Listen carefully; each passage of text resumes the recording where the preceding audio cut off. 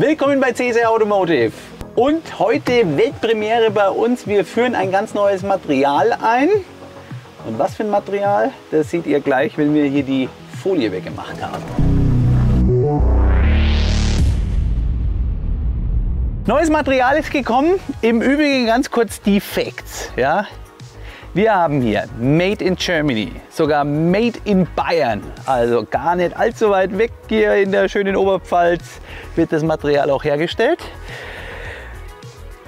Hier in diesem Fall Seidenmatt, Kupfer und angelehnt und kompatibel mit den aktuellen Cupra-Modellen. Die sind ja sehr gefragt, wie ihr wisst. Wahrscheinlich hat der ein oder andere einen. Schauen wir uns das mal an. So, da haben wir das gute Zeugs. Also hier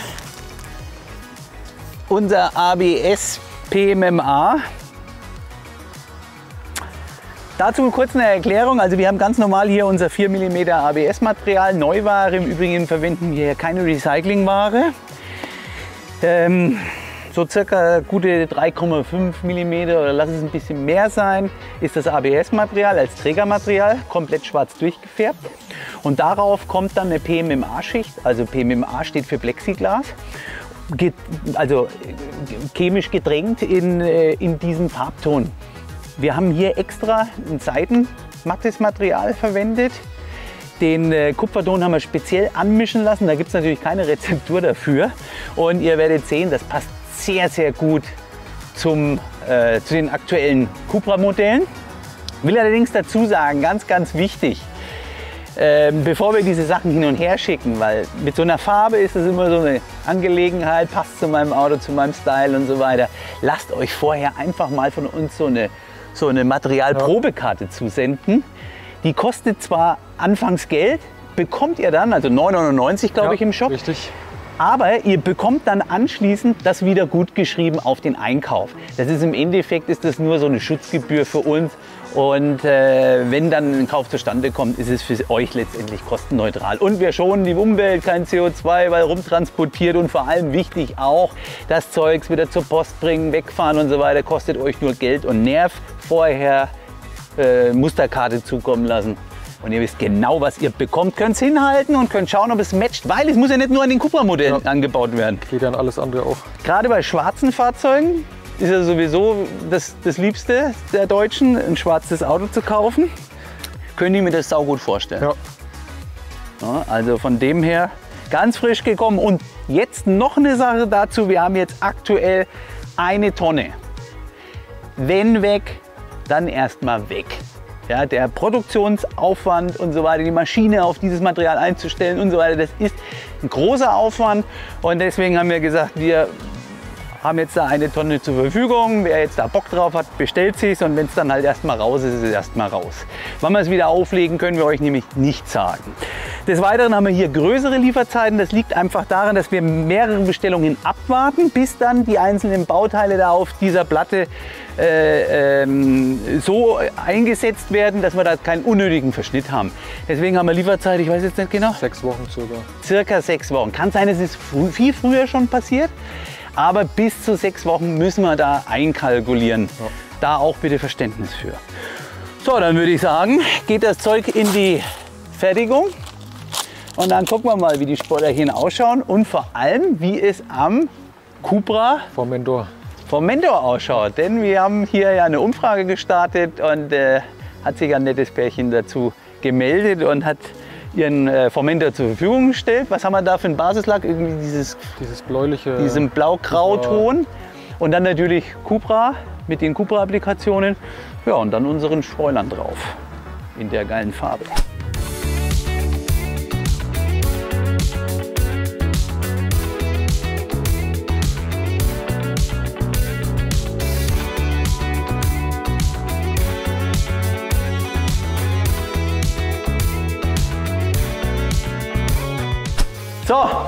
Da ist das gute Stück.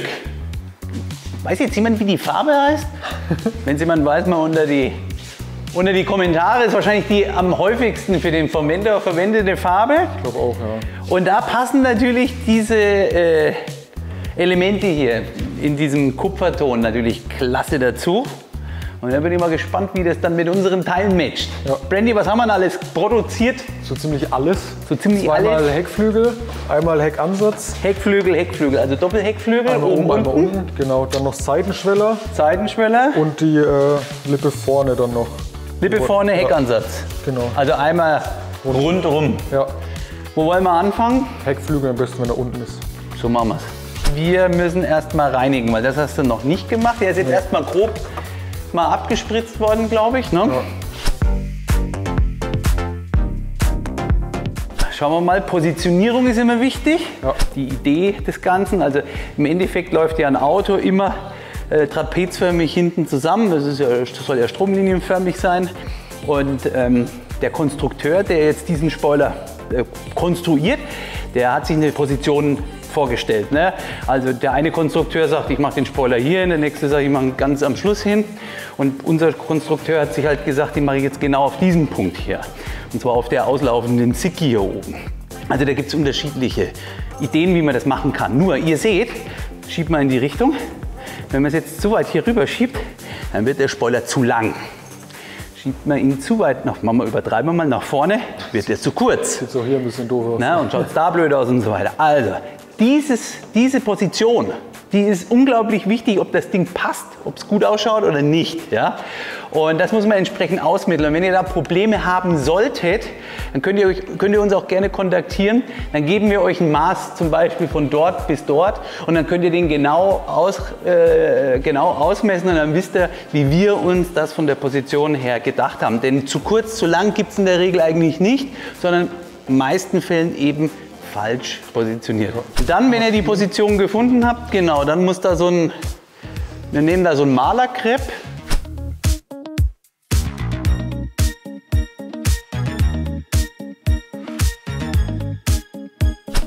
Und dann wisst ihr, wo der sitzen muss und dann passt es auch von der Länge her, von der Flucht her, das haut alles gut hin. Unten die Klebebänder haben Kontakt.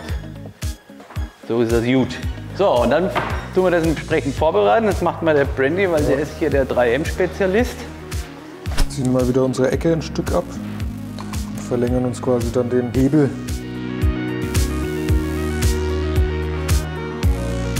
Dann einmal noch das 3M-Tuch zum Reinigen.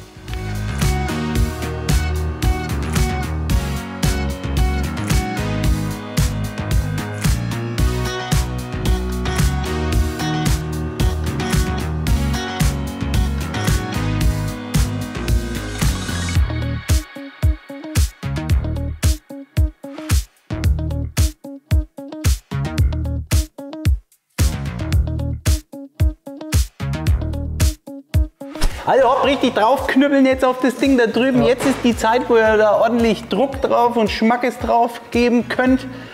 Ja, könnt ihr mit Bierkasten draufstellen oder 50er Fässle, ist auch nicht schlecht. Nee, Spaß beiseite, ein bisschen mit den Finger runterdrücken, sollte klappen. Und wichtig, nicht direkt auf die Autobahn fahren und irgendwie 300. Genau, also wichtig ist generell, auch Klebebänder brauchen ihre Zeit, um sich dann zu verbinden.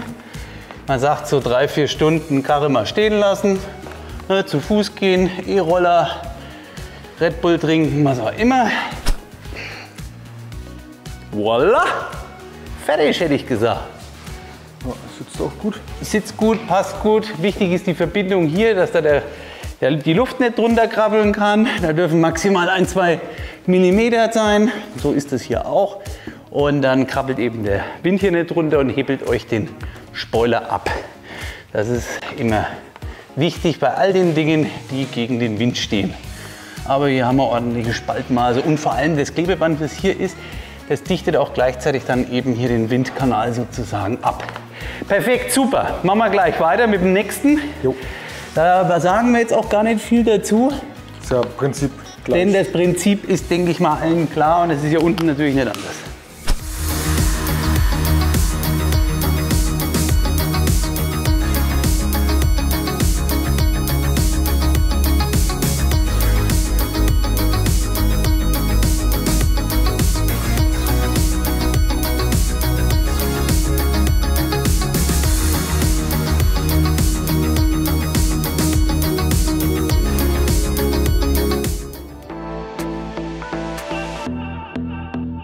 So, jetzt der gute Heckansatz. Ähm, in dem Fall keine Anhängerkupplung. Anhängerkupplung wäre jetzt aber in dem Fall auch nicht unbedingt so extrem tragisch, denn hier kennt ihr vielleicht alle hier so dieses, wie sagt man da, Klett? Klett, ja, Klett. Also es gibt hier von 3M eben so ein Klettband und da kommt dann eben das eine dort und das andere, also das filzige dort und das klettende dort oder umgekehrt dann eben dran und dann kann man das Ding nämlich so wegmachen. Mit Klett. Funktioniert soweit auch, ist aber dazu, dazu zu sagen, dass natürlich das Klett etwas aufträgt und äh, ja, da habt ihr halt wenig ein Spaltmaß. Ja. Ne? Aber irgendwo, ne? die alten Anhänger Changos, halt ohne Anhänger, ganz einfach. Klar. Das Thema hatten wir ja schon mal mit dem Anhänger. So. Vom Minder mit Anhänger schaut doch eh irgendwie komisch aus, oder? So ein Coupé-Form dann Anhänger dran, obwohl du bist ja so ein Wohnwagen-Typ. Ja, so, ne? so Hänger muss immer sein. Hänger. Echt? Besser mit dem, mit dem Fottern den. Nee, den der Hänger. darf keine Hängerkupplung haben. Habe ich schon versucht, gibt es leider nicht. okay, also ihr seht, der schaut ganz cool aus, passt soweit ganz gut. Montage genau gleich. Ja. Wir ziehen das Ding mal kurz auf die Seite. Dann reinigen wir.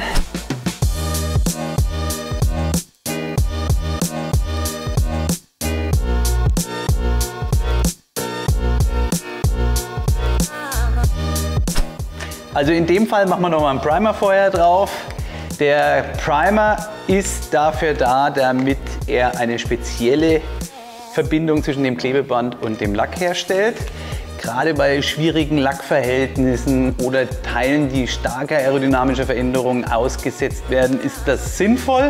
Den könnt ihr bei uns nachordern. In dem Fall wäre jetzt bei dem Heckansatz dabei. Wenn ihr irgendein Bauteil habt, wo ihr sagt, uh, ja, ob da das 3M-Klebeband richtig klebt, dann verwendet ihn. Er schadet nicht.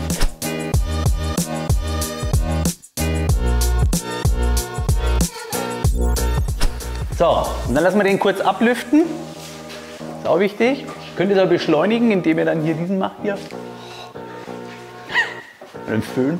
Nee, es dauert keine Ahnung, wie lange muss den ab, fünf Minuten ablüften lassen. Ja, willst du als erstes? Ja, weil du. Unten zuerst. Ja, weil du hast ja jetzt manche so ganz abgezupft, ne? Dann, nur, nur, die da. Ja, ja, es klebt alles Deswegen gut, ne? Zuerst Bist du richtig jetzt? Jetzt bin ich richtig, ja. Du auch. Ja. Ja, der Abstand zwischen den Parksensor Ah, das ist schlecht. Okay. So, also auch hier empfiehlt sich dann, das Positionierungsband vorher zu kleben. Da waren wir jetzt ein bisschen nachlässig. Merkst du, Brandy, ne, der hat schon wieder Bock auf Feierabend. Immer.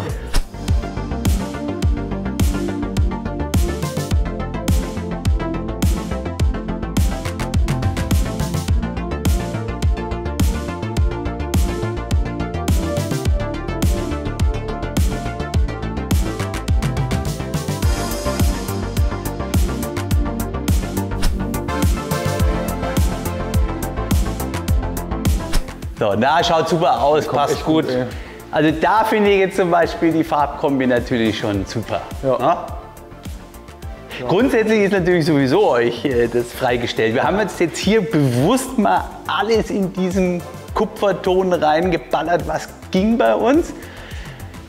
Letztendlich kann man dann natürlich sagen, man nimmt das ein oder andere. Nur Schwarz, äh, Schwarz-Hochglanz. Ich würde jetzt wahrscheinlich den Flügel würde ich jetzt persönlich Schwarz-Hochglanz nehmen, weil dann wäre es mir vielleicht ein bisschen too much. Hier in dem Fall die Partie finde ich zum Beispiel klasse in dem, in dem Farbton. Schweller kommen auch, glaube ich, dann auch. Und die Schweller kommen auch ja. sehr geil. Das glaube ich nämlich auch. Ich denke mal, alles, wo sowieso standardmäßig schon dieses Schwarz-Hochglanz drunter ist und dann gehst du mit dem nochmal drauf. Ja. Sahne. Und jetzt dürfen wir auch nicht vergessen, hier Kunstlicht, grelles Bam Bam Bam. Das wird noch ein bisschen ticken dann dunkler, aber das sehen wir ja dann, wenn wir so einen kleinen Carporn damit drehen. So, weiter geht's. Da haben wir einmal Schweller. Ja. Wieder. Ich mal sauber. Yes. Da müssen wir auch primern wieder. Auf jeden Fall, weil das hat das breite Klebeband. Wenn man hier sieht, das ist das genau. dicke Klebeband. Das hält auf jeden Fall. Wenn es richtig montiert ist, hält es bombenfest. Wir sind mit dem R8 über 300 gefahren. Spoilerlippe vorne. Anpressdruck von locker 50, 60 Kilo. Und das Klebeband, das ist einfach nur noch der absolute Hammer. Und wichtig ist halt, dass man da auch ein qualitativ hochwertiges nimmt.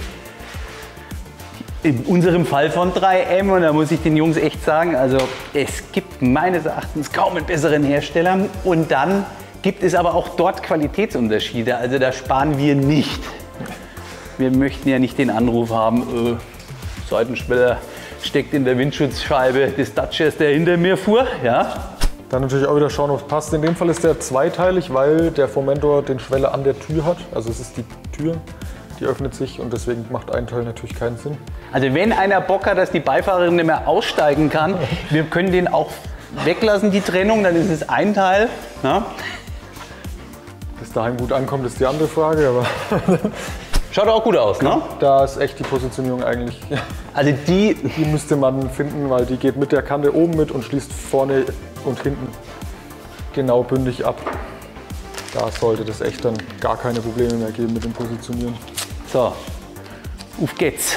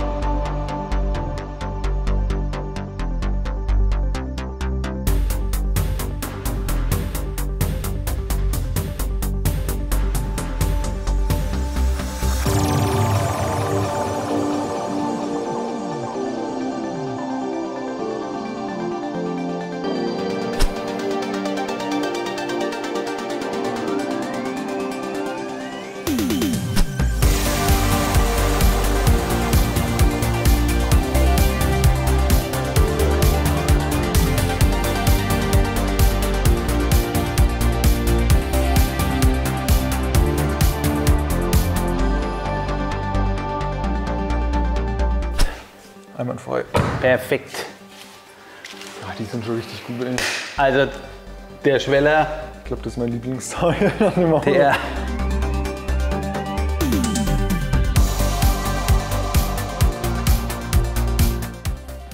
So, komm, auf geht's. Da auch wieder So, auch hier, auch hier gilt vor allem mit der Positionierung beachten. Ja. Zu weit vorne, zu weit hinten kann dazu führen, dass es im Radkasten nicht passt. Deswegen nehmt euch einfach den Radkasten her. Schaut, dass es im Radkasten eine Flucht ergibt. Wäre ungefähr Position hier. Ein bisschen muss das Ganze natürlich dann auch noch nach oben gedrückt werden, weil dadurch, dass wir das natürlich da hinten in den Radlauf reinhalten und hier keiner drückt, fällt es ein bisschen nach unten. So, aber das geht alles, Ja. ist kein Thema. Dann, äh, dann mal Löcher vorbohren. Yes.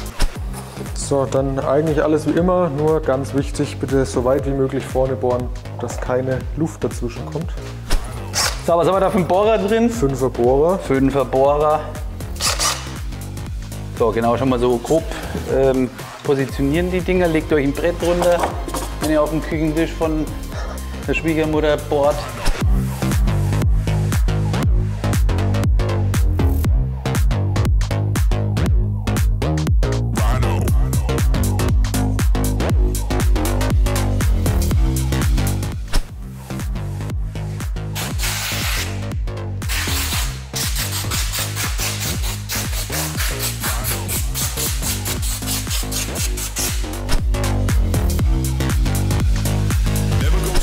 Also auch wieder hier das einfache Malerkrepp nehmen, positionieren, schaut zwei, dreimal, dass es symmetrisch ist, dass der richtige Punkt ist. Ich hatte es ja vorhin bei den Heckflügeln schon erklärt.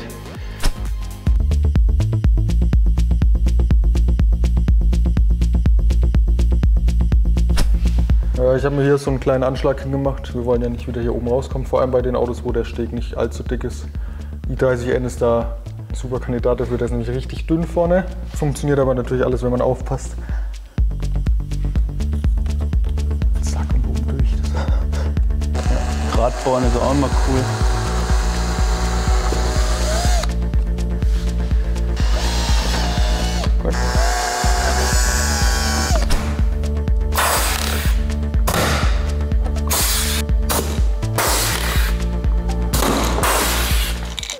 Brandy, super Arbeit.